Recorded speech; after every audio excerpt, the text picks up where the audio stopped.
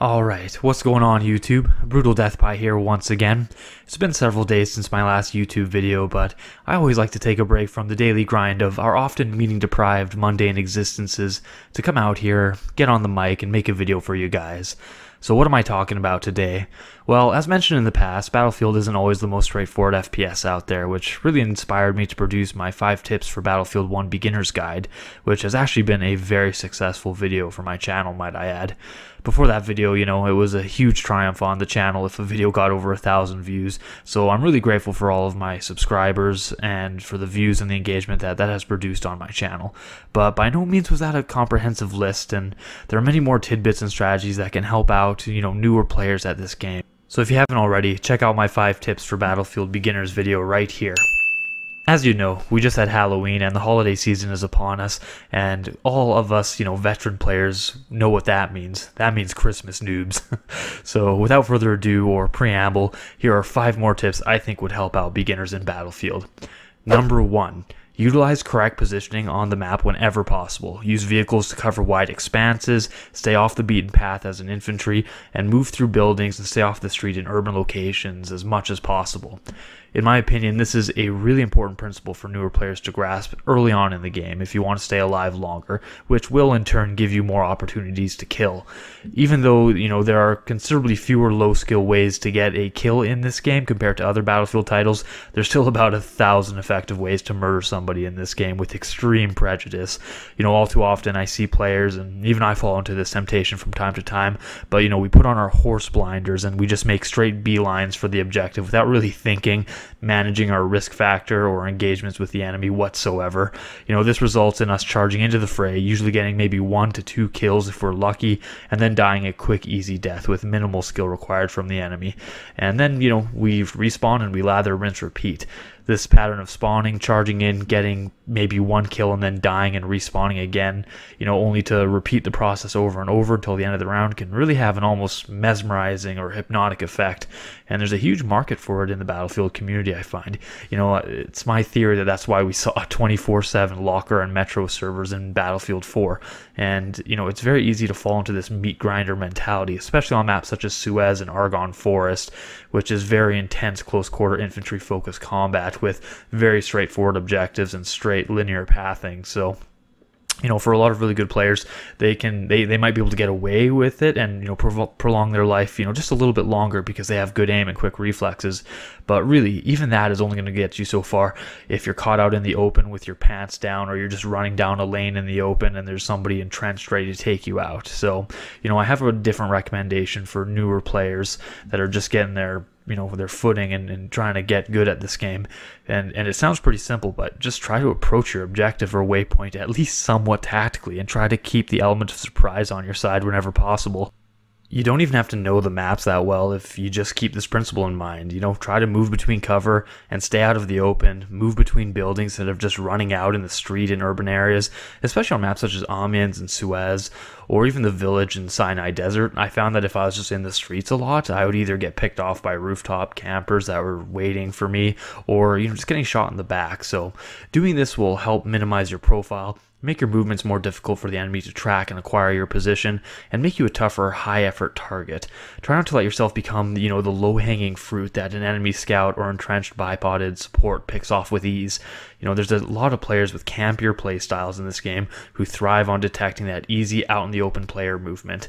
Uh, when I was growing up playing basketball, my dad was the coach on our team, and he'd always tell us that even if the other team was better, not to give them an easy point. No presence whatsoever. They had to earn every basket they made against us. And the same principle applies to Battlefield 1. Make those sons of bitches work for your death. Make them earn it. Make sure you're a huge pain in their ass before you die. Number 2. Use special pickups and learn their drop locations and know how to counter them yourself. So this one is pretty straightforward, but any player should know that special class pickups drop at predetermined locations in all the maps in Battlefield 1. If played correctly and with a bit of teamwork, these classes can dominate and have a significant impact on the battlefield. You have an armored suit class with a Gatling gun and an ungodly double SMG.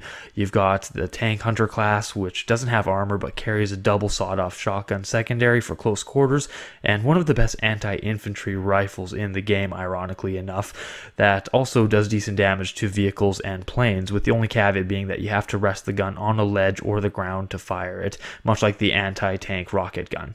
And last but not least, you also have the armored flamethrower kit, which is fairly self explanatory. All you have to do is put on your chef hat and start grilling yourself some noob etouffee served on rice, seasoned with extra salt and the tears of the uninitiated. Usually, these kits can be found at certain flag points in Conquest. So, for instance, you've got the flamethrower suit at the B flag in Amiens, you've got the double SMG armored suit at the B bunker in Monte Grappa, you've got the tank hunter at the B point in the bombed out chapel on St. Quentin Scar and he got the Gatling gun drop at the B point in Sinai Desert. I realize that was a lot of B points there, but uh, I'm not going to go into depth with every drop location in this video, but thankfully the game it actually does notify you with a heads up display when a pickup spawns and you're close by to it. And you do get to, you know, savor the dirty feeling of ease as you mow down hordes of the enemies in these, you know, powerful classes.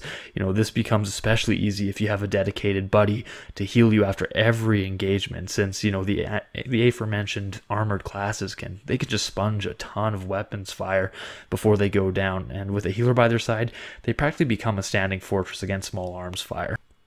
But that's not to say if you encounter one of these guys, you're completely hooped. Like I said, the tank hunter has no armor, so hose him down like a stray unwanted mutt as you would any other enemy soldier. The armored classes aren't quite as simple as that though, but there's still quite a few ways to take them out. Quickly, I might add. Armored classes are vulnerable to explosives, so lob your grenades and ordnance at them, as well as being run over by horses and vehicles. The Gatling gun and SMG special class are also weak against gas, so smoke them out if they're entrenched in a bunker or small room. Uh, because these special infantry classes are slow, they're even easier to hit with your melee weapons and, you know, to sneak up on them, essentially. I always recommend using a heavy melee weapon like the shovel, the hatchet, or pickaxe because they hit the hardest at a whopping 55 damage per hit and will have a greater chance chance of locking down your target into a takedown animation if they've already taken damage. If you get behind them, you can take them down in one hit. And even better, if you have a bayonet on your weapon, you can piss in their cornflakes by charging at them and taking them down in uh, one hit for a humiliating kill. Still, skilled players will know how to avoid these pitfalls as this class, and a coordinated team will know how to protect their special class players. So utilize these assets to your advantage to get the edge in the battlefield. Number 3. Try fun, creative, and interesting gadget and weapon combinations to utilize your class in effective ways. In my last video, I talked about each class's basic role on the battlefield, but there's definitely some fun and interesting things that you can do with each class as well with the right combinations of weapons, grenades, and gadgets. One such combo I find quite fun and effective is for the Assault class. Give your soldier gas grenades and equip yourself with the Automatico Trench or Model 10A Shotgun Hunter variant throw that gas into a building where you think the enemy might be hiding out. You know, if there's anyone there, hit markers will start popping up on your screen, letting you know that there's an enemy presence. And sometimes players will be too stupid to even put on their gas mask. So you'll actually get the kill with your gas grenade. But the beauty of this strategy is that having a gas mask prevents enemies from aiming down sights, which will greatly hinder certain medic weapons and, of course, the scout rifles. And because you have the Automatico Trench or Model 10A Hunter, killing them will often feel like taking candy from a baby, especially the Model 10A Hunter. That that shotgun is just disgustingly effective if you're accurate with it. It's pretty much a one-shot machine, even up to 20 meters. It's ridiculous. Dice might actually need to adjust it. Another great thing to do as an assault player is if the enemy has a behemoth train is to just lay mines on the track because it's a train. It can only go one or two ways, you know? And uh, these mines, they'll do gross amounts of damage as the train runs over them. And of course, very seldom do players spot them before running over them since, you know, it's a train. uh, the medic is somewhat constrained in their gadget selection just because they have the syringe, which is vital for teamwork. And both the medic pouch and medic crate are among the best gadgets in the game, so I really don't understand why a player would give those up. But if you want to give up your syringe, the frag and high explosive grenade rounds are great for softening up targets camping in rooms, bunkers, and densely crowded areas. And if you really want to troll enemies, you can actually syringe them in close quarters instead of meleeing them for extra lols. Another great application for the support class, in addition to their mortar support and limpet charge, and of course restocking ammo, is to support a fellow tank buddy. Hop in a heavy tank or a land ship equipped with a wrench and pop out to repair your tankin' buddy if the situation calls for it. This is much quicker than waiting the 8 or so seconds it takes for your friend to do a full cycle of repairing, assuming he doesn't take damage, and then you have to restart that 8 second process, further bogging you down and leaving you vulnerable. Just make sure it's safe to leave first and that you don't just blindly jump out and get shot or taken out. You know, if you got a good tanker, the two of you should make quite an effective team, and you might even save his life by allowing him to stay mobile while you repair him. And of course, the Scout class has access to flares, which, in addition to blinding enemies and revealing their locations on your map, also sets your enemies ablaze on fire if you hit them directly. And remember, you can always set up some festive Christmas heads at Fao Fortress to publish glad tidings of Christmas cheer to your foes and remind them of the holiday spirit. but no, those are just a few different applications I could think of, guys. But by all means, come up with your own and let me know in the comments down below what you think. Number four, learn how to fight for conquest flags. New players will undoubtedly discover that Conquest is the bread and butter of the Battlefield franchise and has been for some time, and it may be one of the first game modes they jump into. As such, it always helps to know a few tips when capturing flag points. One of the most important things for a new player to understand when contesting a flag point is to recognize when there are other enemy players on the flag. You'll notice a little bar fill up with a red or blue above the objective point that you're at, and this is an indication that A, there's an enemy on this flag, and that B, depending on how much the red bar fills up, indicates indicates how many enemies are on that flag with you. If it fills up over halfway, that means you are outnumbered, and if it's over halfway blue, that means you outnumber them. So I find it really helps as you play all the maps on Conquest to try and keep track of the most common spots that enemies will like to hide, you know, on the flag point. For instance, on the A flag on Amiens, I notice a lot of players will hide in this corner, as well as this corner among the rubble.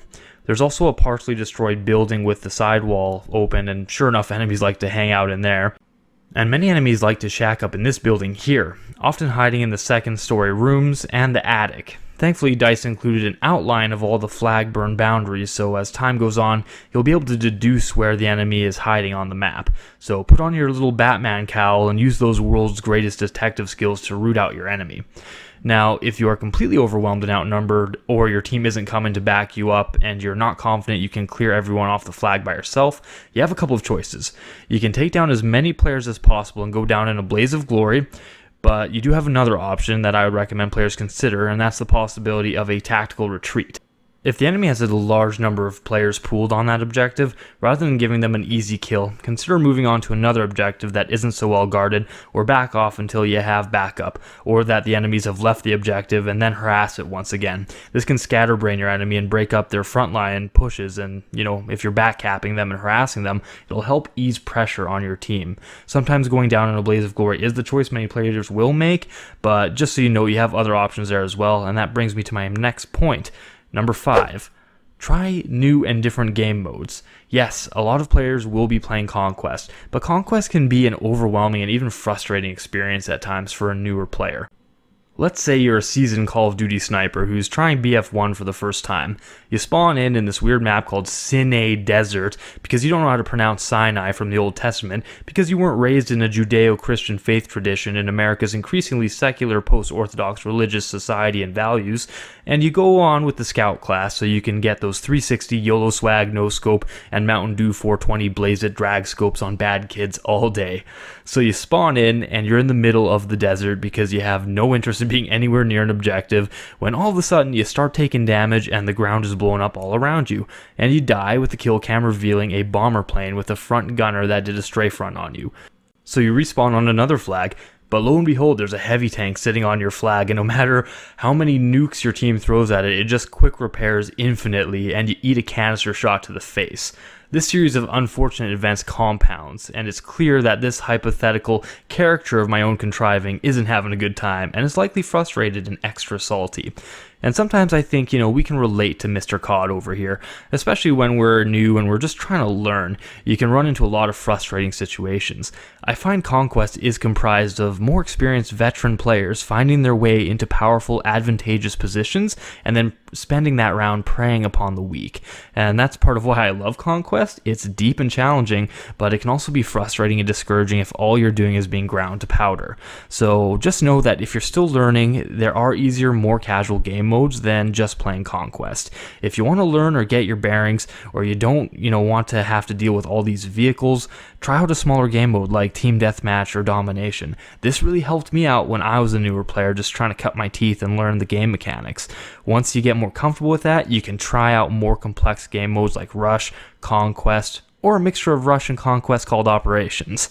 And that is what I had for you guys today. A bit of a longer video. Uh, you know, some of you guys, you might be wondering where my scout guide is. Just know that I'm still playing around with that class, you know, just trying to find the most helpful tips and strategies that I can. I mean, I've poured hundreds of hours into Battlefield across the year, so clearly I've ascended unto Battlefield godhood where all bow down and none dare defy my superhuman abilities. no, I'm just I'm just kidding.